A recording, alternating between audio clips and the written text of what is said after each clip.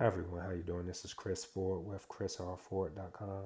And guys, today we're going to be discussing two things that you can do to ensure the success you are wired for. Guys, number one is concentrate on the value that you want to give your audience instead of trying to be perfect.